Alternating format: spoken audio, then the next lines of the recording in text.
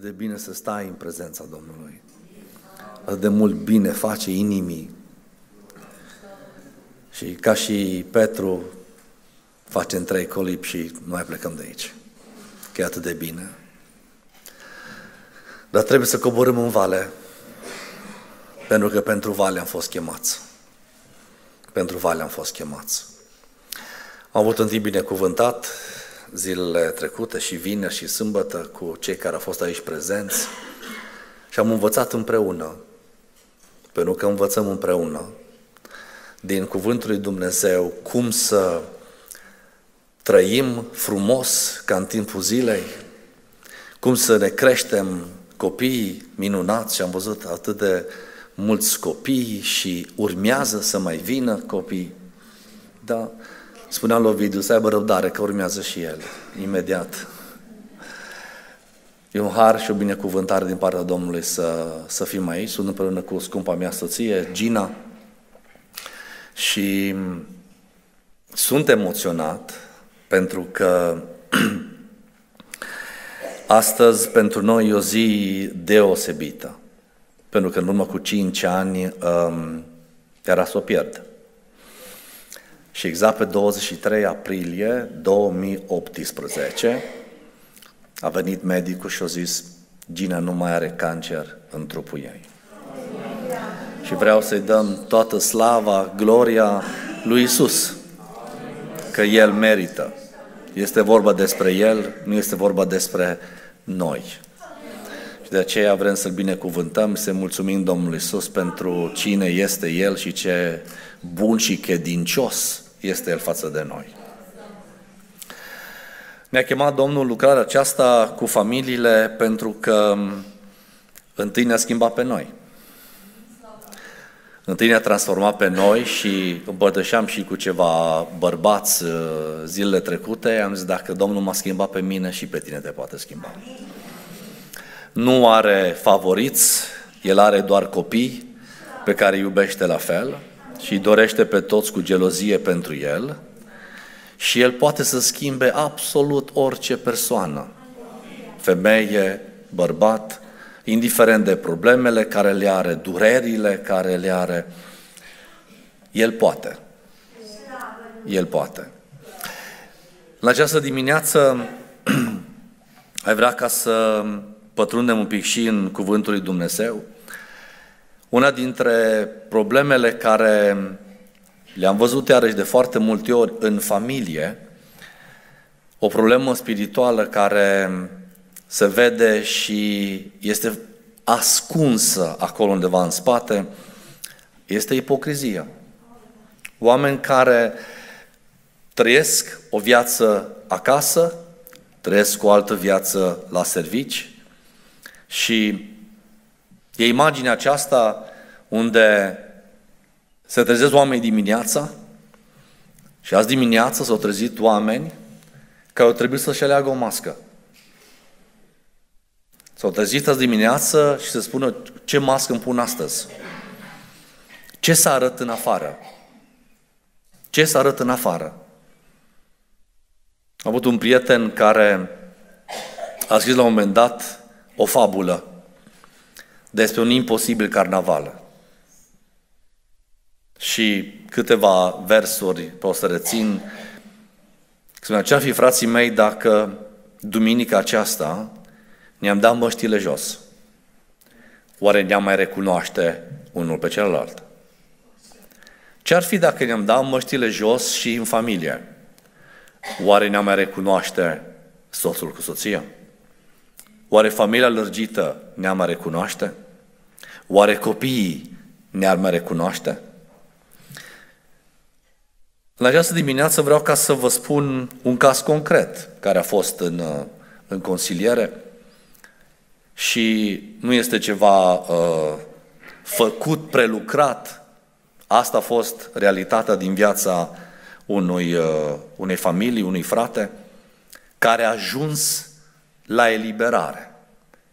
Pentru că ipocrizia se rezolvă prin har. Și se poate rezolva. Și vreau să vă, vă citesc repede ca să nu pierd timpul, ca să mă pierd de undă în detalii. Bineînțeles că numele este uh, fictiv. Marius a crescut într-o familie de creștini, s-a căsătorit la 19 ani și a avut trei copii. Religiozitatea lui determina soția și cei trei copii să fie în fiecare duminică la casa Domnului. Când ușile erau deschise, erau acolo. Marius avea o inimă pentru a ajuta pe alții și participa la multe proiecte ale bisericii. Pe din afară, el era un creștin deosebit, o inimă bună și foarte darnic. Copiii au crescut și Marius a devenit un șef dur. Acasă el dicta credinței soției și dacă îi prindea pe copiii lui mințind, reacționa foarte violent. El cerea perfecțiune și nu arăta deloc har atunci când soția și copiii îl dezamăgeau. Dragostea lui necondiționată pentru mireasa lui a dispărut, cât și răbdarea pentru copiii lui. Acum ei văd doar un șef dur.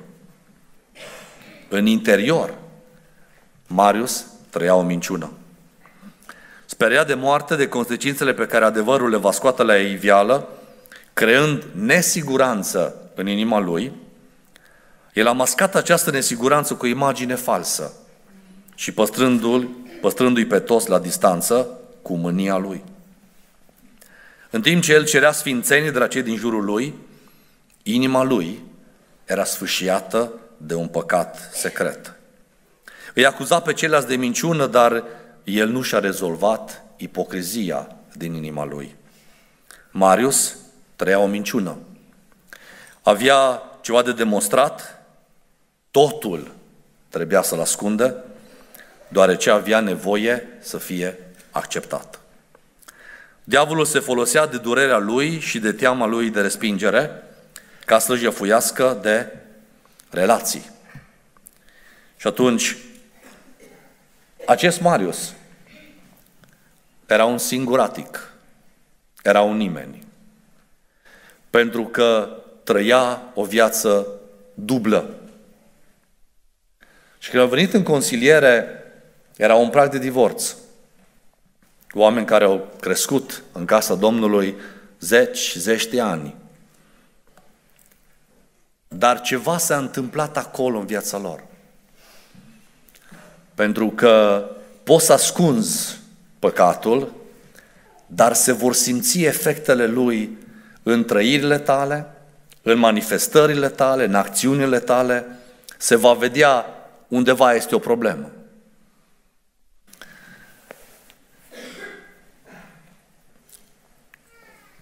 Problema spirituală, așa cum am spus, este ipocrizia. Și foarte mulți dintre noi ne gândim și poate că am văzut oameni ipocriți, poate că i-am și catalogat imediat pe acei oameni, dar de fapt în spatele unei persoane care are ipocrizie este o durere, o rană emoțională fantastic de mare. Dar așa cum am spus, ipocrizia se poate rezolva prin har. Cuvântul Domnului spune că holțul nu vine decât să fure, să înjunghe, să distrugă. Domnul Iisus spune, eu am venit la pol opus, în antiteză cu tot ceea ce vrea să facă hoțul, cel rău. Ca ele, ca oile mele să aibă viață și să o aibă din abundență. Domnul nu se uită la ceea ce se uită omul. Omul se uită la înfățișare, pe când Domnul se uită la inimă. Pentru că nu mai facem timp unii pentru ceilalți, am devenit superficiali. Avem relații superficiale și fiecare este undeva în colțul lui și își linge rănile singur. Și încearcă într-un fel sau celălalt să supraviețuiască. Cuvântul Domnului spune, am venit să aibă o viață din abundență, nu să supraviețuiască. Și fiecare își caută soluțiile lui de a supraviețui. Dragii mei, relația cu Domnul Isus este mai mult decât să supraviețuiești. Este mai mult decât să supraviețuiești. Ce este de fapt ipocrizia? Ce este de fapt ipocrizia? În primul rând, ipocrizia este păcat. Iisus le și spune uh, fariseilor, este un citat din Isaia, poporul acesta mă cinstește cu buzele, dar inima lui este departe de mine. În primul și în primul rând, ipocrizia este păcat.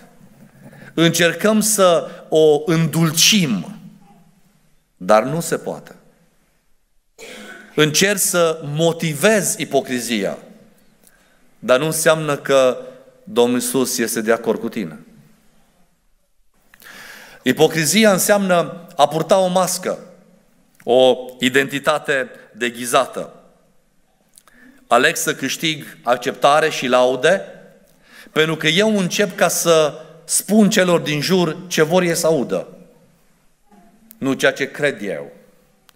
Și nu vor găsi niciodată identitatea mea. Nimeni nu va ști cine sunt eu cu adevărat. Problema este că eu când mă duc acasă, voi fi iar singur. Pentru că îmi voi da masca jos. Și când mă uit în oglindă, voi fi eu. Și de fiecare dată, în contextul în care eu mă voi duce, va trebui să schimb masca. Și încep să obosești. Și încep să obosești. Proiectând o imagine falsă în afară. Și vreau tot timpul să le spun oamenilor că eu sunt cineva. Dar scopul meu este ca eu să fiu acceptat. Eu să fiu primit într-un anumit grup. Să primesc laude de la oameni. Era un copil în camera de, de așteptare, în sală de așteptare la stomatologie și trebuia să completeze un anumit formular și printre formularele acelea era și hobby. Care este hobby-ul tău? Și copilul spune ața dentară. De mic a vrut să-i spună doctorului ce vrea să audă. Dar noi, de fapt, proiectând o imagine falsă în afară, dăm dovadă de inferioritate a noastră fantastică de o stimă de sine zero, fără nicio valoare, suntem noi. Când au venit iscoadele, au zis lui Moise, înaintea lor, suntem ca niște lăcuste. Cine ți-a zis că e lăcustă? Nu le-a zis nimeni. Nu le-a zis nimeni. Nimeni nu a zis, bă, stălăcuți, sunteți mici, vă facem praf imediat. Că aici trebuie fiii lui Acan, uriașii. Diavolul a venit și a spus, ești un nimeni. Sunteți mici, ești o lăcustă. N-ai valoare. Și pentru că eu cred asta în inima mea, încep să-mi pun o imagine pentru că omului îi place foarte mult doar această interfață. Având relații superficiale, ne place doar această interfață și atât. Și atunci trebuie să lucrăm la această interfață foarte, foarte mult ca să dea bine. Să dea bine pe Facebook, să dea bine pe Instagram, pe Snapchat, peste tot. Trebuie să dea bine în afară. Dar numai eu știu că suferă înăuntru. Și oamenii își fac fel și fel de impresii. Wow, cine este El? Că uite ce face, uite ce zice. Ipocrizia este a spune un lucru, dar făcând altceva. Și bineînțeles, când faci lucrul acesta, intri în ultima categorie. Ipocrizia este o minciună. A minți nu înseamnă, dragii mei, doar să spui un neadevăr. Poți să minți prin atitudinea ta și e totul mincinos. Biblia nu a carificat doar atunci când rostești, doar atunci când scoți pe gură un adevăr, atunci este minciună. Prin atitudinea ta, prin acțiunile tale, tu poți să-i minți pe cei din jur, dar cel mai grav este că te minți pe tine însuți. și tu crezi că e bine, Anania și Safira au încercat să-i mintă pe ucenici. S-au înțeles amândoi în familie. Și zic, cum facem? N-a fost în stare unul să ridice pe celălalt. Să spune, nu este bine ceea ce facem. Și s-au înțeles amândoi și au rostit aceeași minciună. Și cuvântul Domnului spune că voi nu m-ați mințit pe mine, pe noi, pe ucenicii. Ați mințit pe Duhul Sfânt. Pentru că noi ca și creștini, noi pășim în prezența lui Dumnezeu în fiecare zi. Din momentul în care eu mă trezesc și l-am pe Iisus cu mine, pentru că sunt copil născut din nou, eu pășesc în prezența lui Dumnezeu zilnic. Și prin atitudinea mea, eu în primul rând îl min pe Duhul Sfânt care e în mine.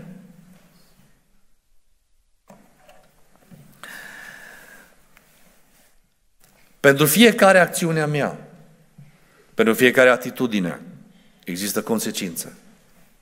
Și sunt consecințe. Noi credem că dacă i-am mințit pe oameni și nici măcar nu și-au dat seama, credem că nu sunt consecințe. Dacă facem ceva singur, doar noi, în ascuns, credem că nu sunt consecințe. Pentru că noi credem că suntem atât de izolați, undeva departe, nimeni nu știe. Dar uităm un lucru. Dincolo de faptul că este prezența lui Dumnezeu cu noi, noi suntem una cu soțiile sau cu soții noștri oriunde se afla ei. Consecințele ipocriziei. În primul rând, ipocrizia încalcă onestitatea. Și ca să nu se supere celălalt, încercăm să-i spunem ce vrea să audă. Dar, dragii mei, vă spun un lucru.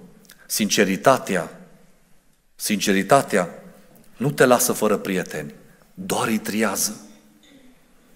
Sinceritatea ta nu o să te lasă să nu mai ai niciun prieten. Îi va tria doar pe cei care sunt cu adevărat prieteni. Cei 1500, 20 de mii de pe rețele de socializare, aia nu sunt prieteni. Aia nu sunt prieteni. Biblia spune că un prieten în necaz, ce te devine? Ca un frate. E un pic cam greu la care e prieten cu mine la nu știu câți mii de kilometri să-mi devină un frate când trec prin lucruri grele. Să fie acolo lângă mine, să mă susțină. Va fi greu. Sinceritatea nu te lasă fără prieteni. Ipocrizia blochează dragostea. Nici nu poți să oferi dragoste, nici nu poți să, trăi, să accepti dragostea. Pentru că tu ai intrat într-un turn al tău și nimeni nu poate să pătrundă la inima ta acolo.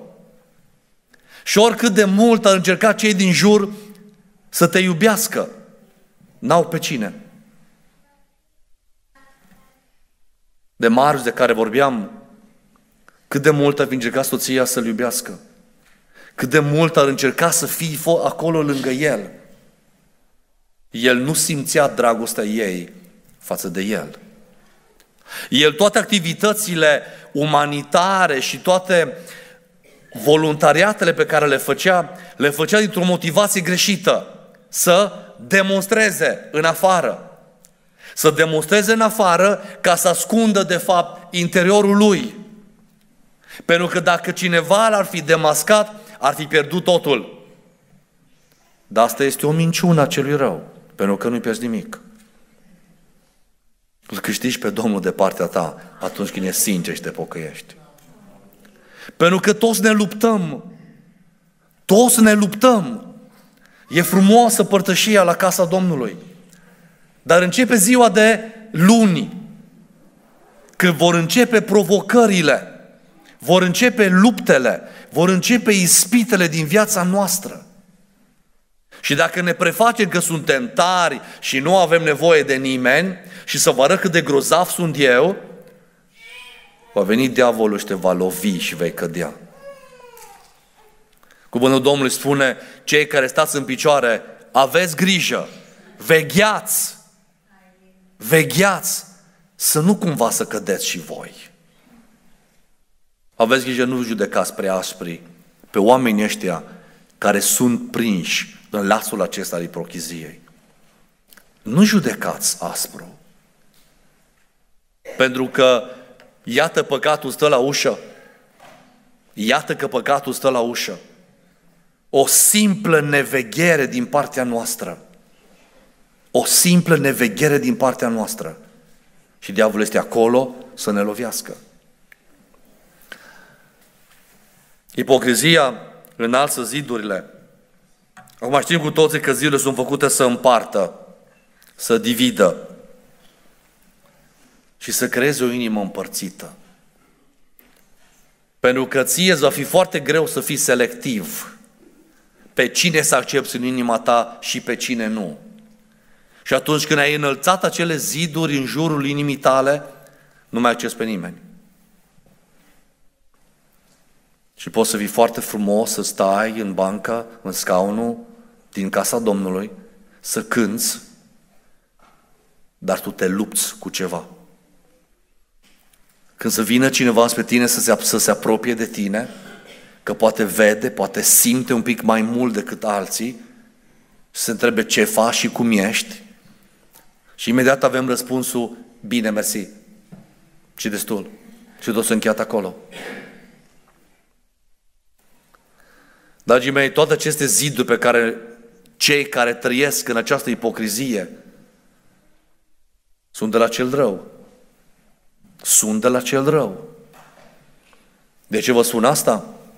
Pentru că știu că am trecut pe acolo. Ceram cu scumpa mea tot așa într-un cadru frumos. Și deodată s-a uitat înspre mine și a zis, mai poți? Mai poți? Și până când nu a existat momentul ăla de frângere, și a zis, destul. Pentru că viața nu este a demonstra celorlalți cât de bine sunt eu.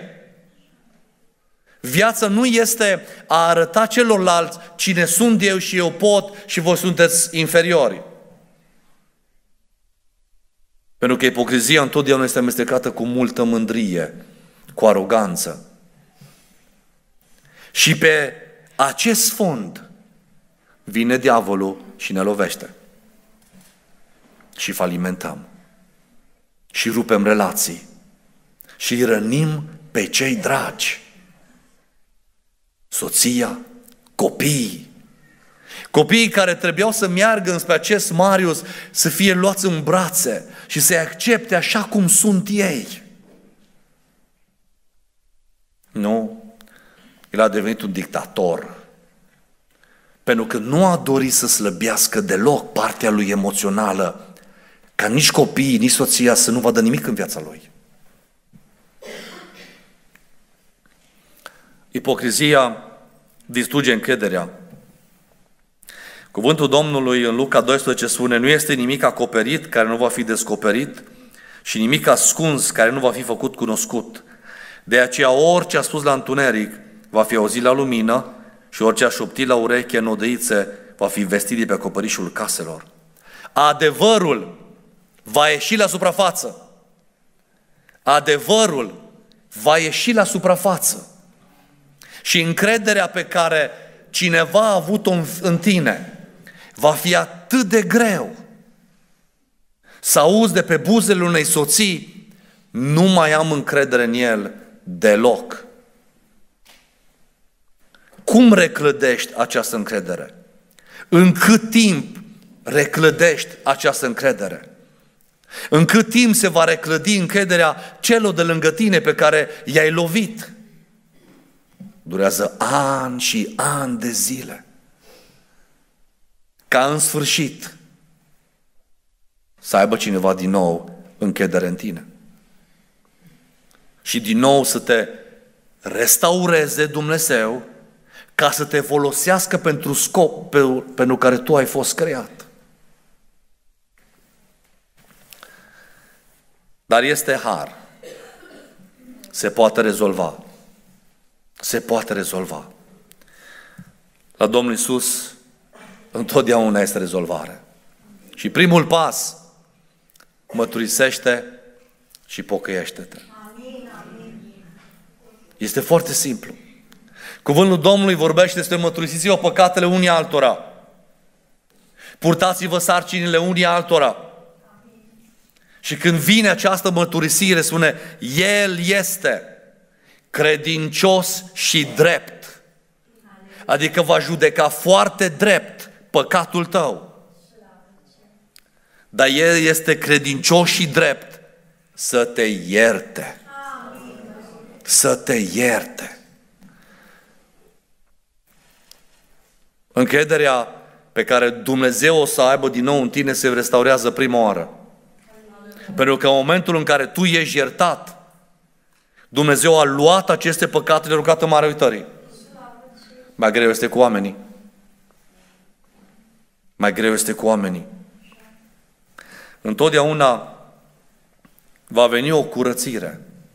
Va veni un sentiment de curat în momentul în care încep să mărturisești să te pocăiești. Dar știți că nu e suficient? Nu e suficient asta.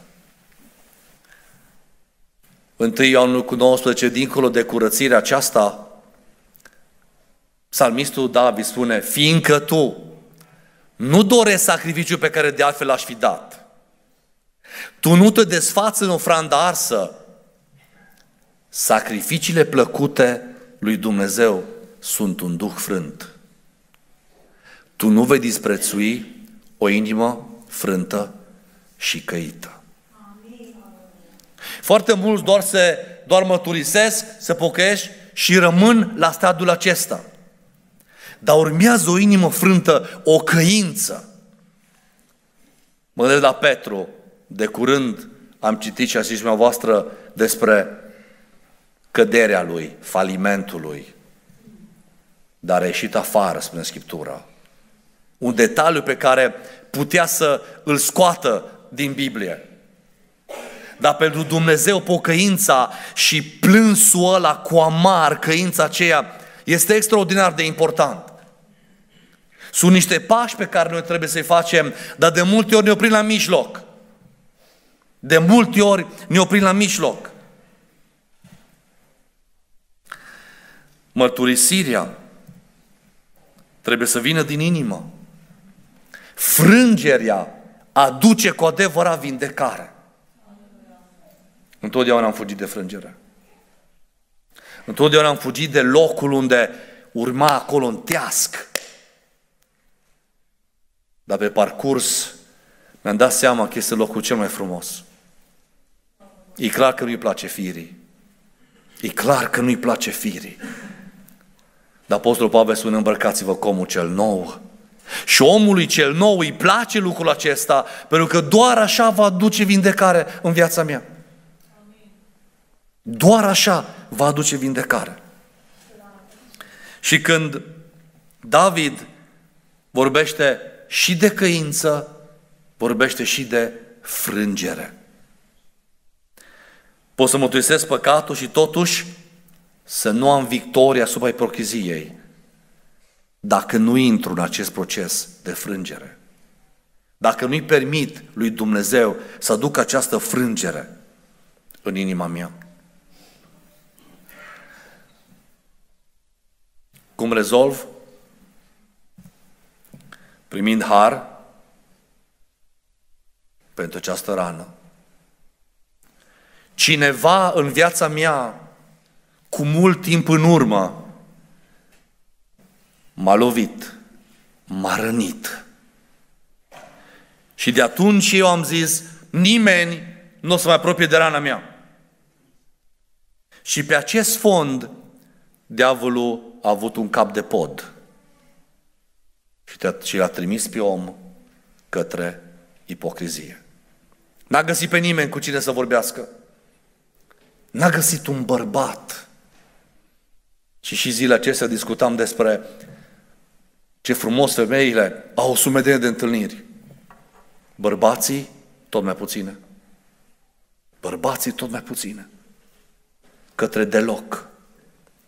Când ei ar trebui să întâlnească mai des decât să întâlnească femeile. Pentru că ei sunt cap de familie.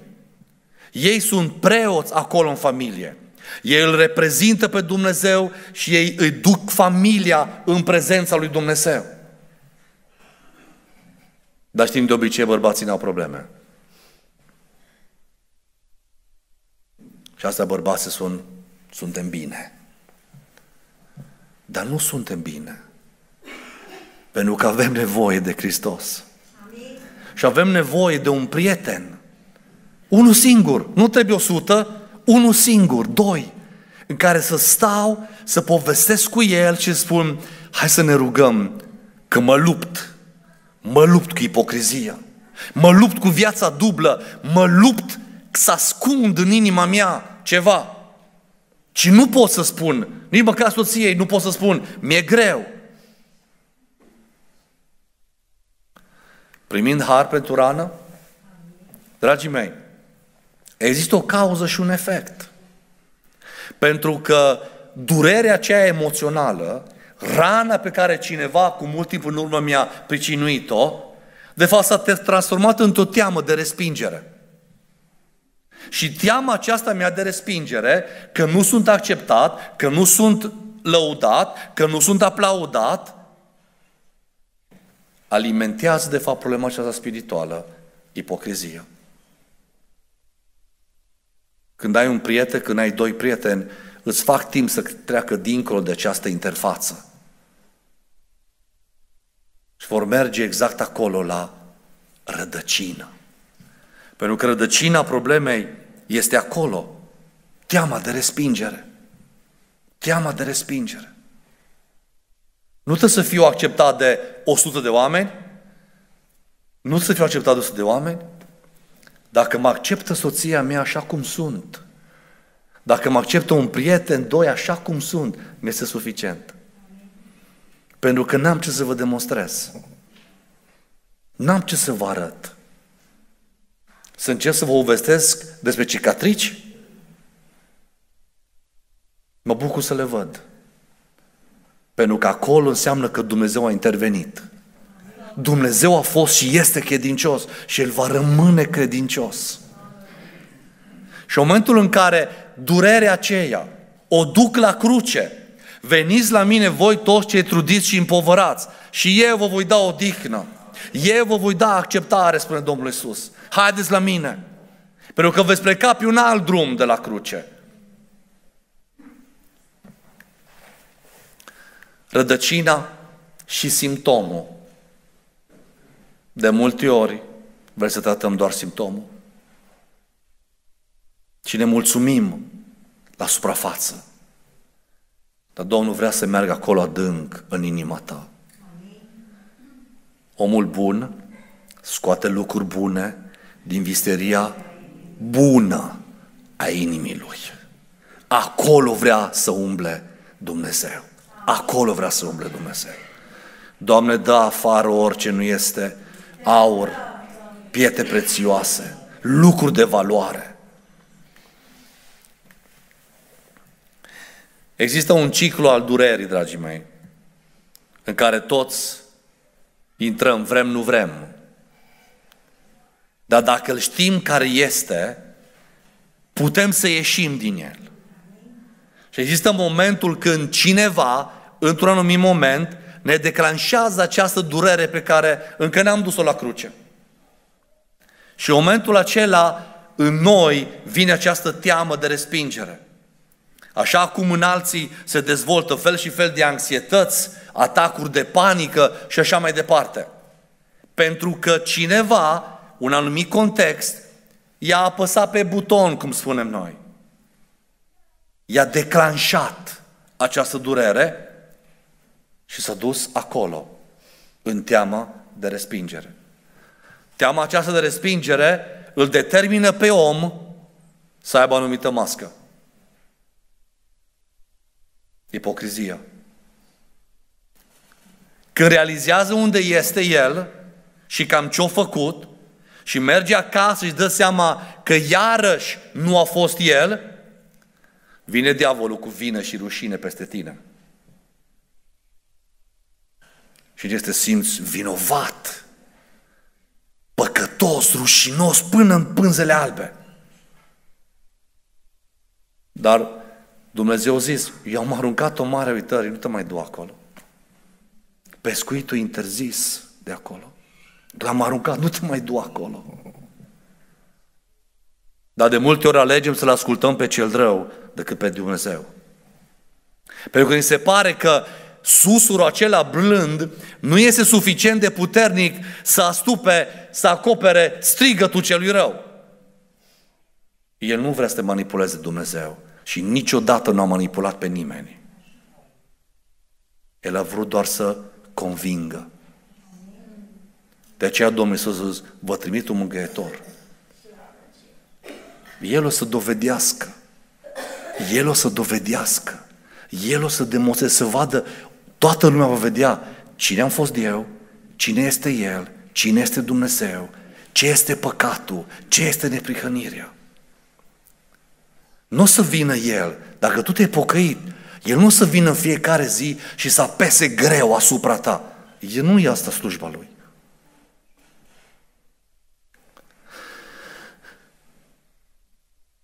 Te determină vina aceasta să te pocăiești. Te pui, Doamne, iartă-mă, că din nou m-am dus acolo. Că din nou m-am dus acolo. Dacă cuvântul Domnului spune că o speranță amânată îmbolnăvește inima. Și tot amâni, poate o să găsesc momentul ăla când mă duc să mă turisesc la cineva. Poate o să mă duc să, să-i spun în sfârșit soției.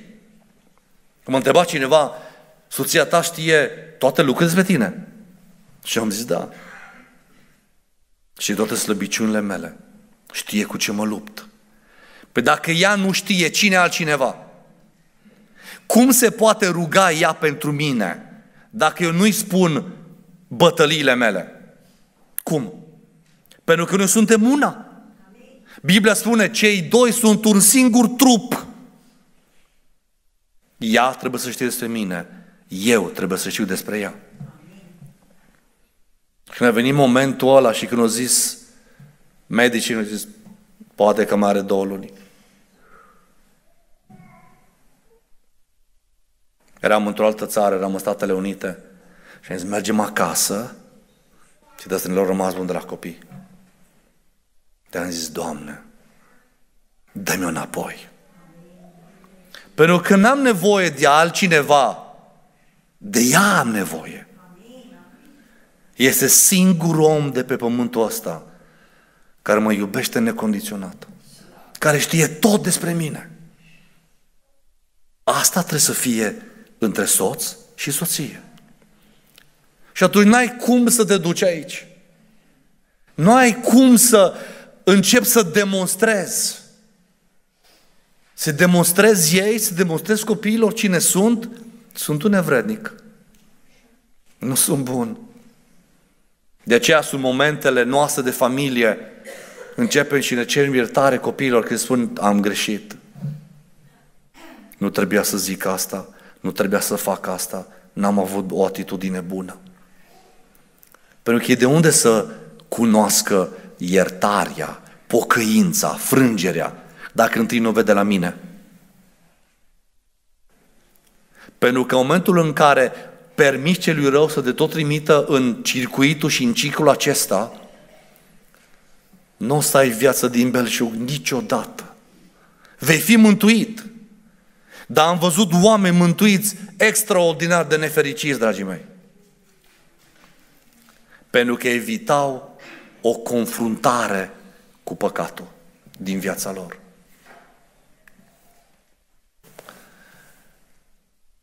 În a rezolva ipocrizia mai trebuie să faci un pas. Să rezolvi ipocrizia față de cei afectați. Pentru că au fost oameni pe care i-ai rănit prin atitudinea ta. Au fost biserică pe care i-am rân, am rănit-o. Și eu trebuie să mă duc să le spun, iertați-mă, că eu n-am fost bine.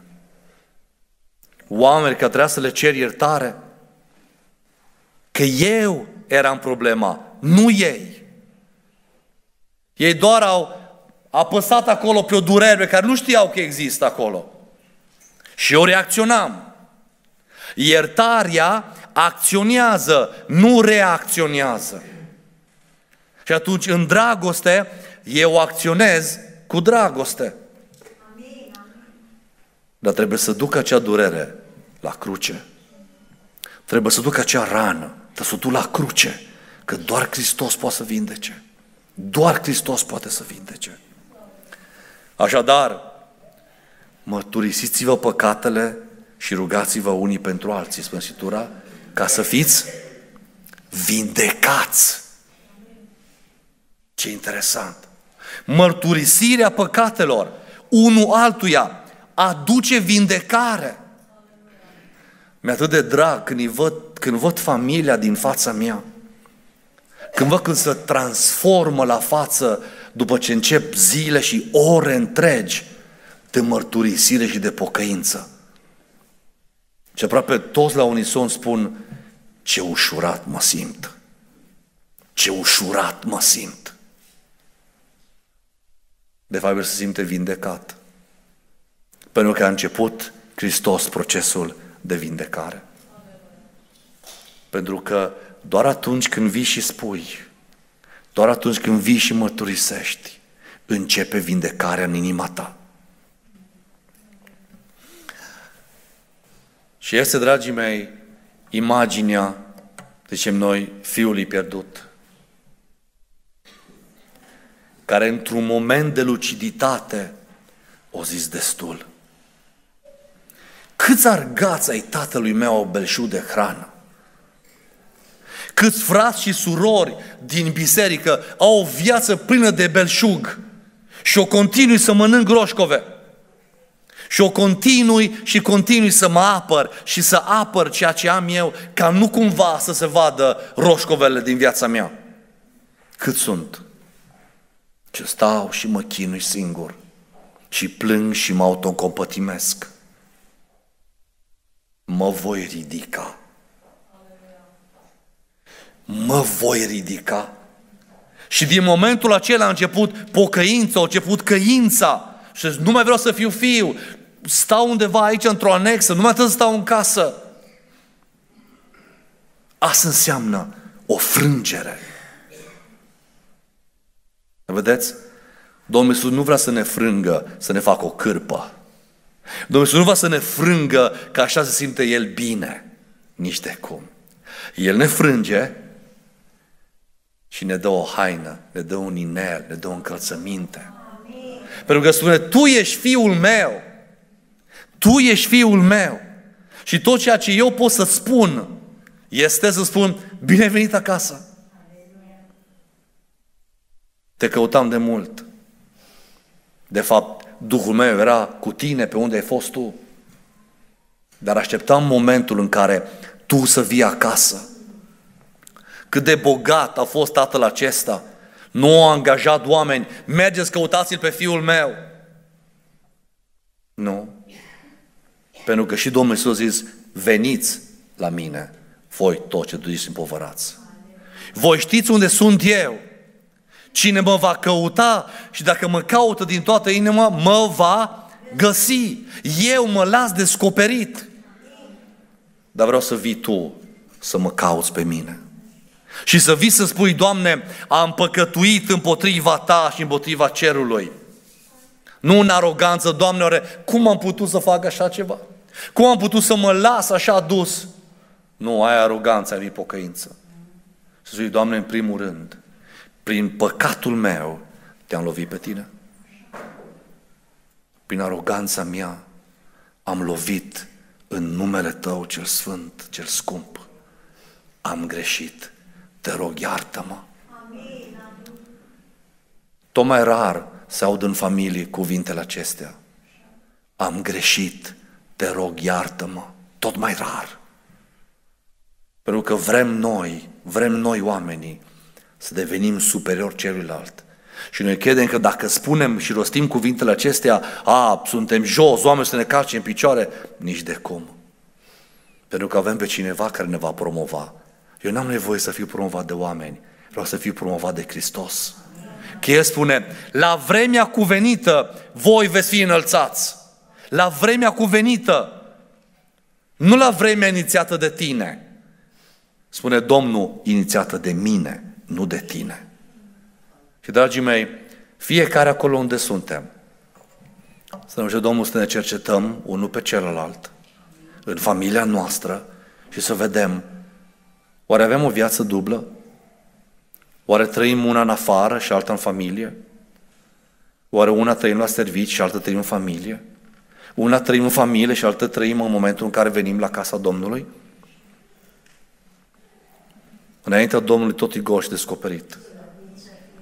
Și mă rog Domnului ca să binecuvinteze Biserica Speranța cu oameni maturi, cu oameni care știu cine sunt, cu oameni care știu că am fost păcătoși, dar suntem mântuiți de Domnul Isus. Încă ne luptăm, dar de ce ne luptăm? Pentru că vrem să ne sfințim tot mai mult, că Gel este sfânt. Și vrem să luăm toată armătura din Efesen 6 ca să ne ferim în vremurile grele din viața noastră. Amin. Domnul să binecuvinteze. Amin.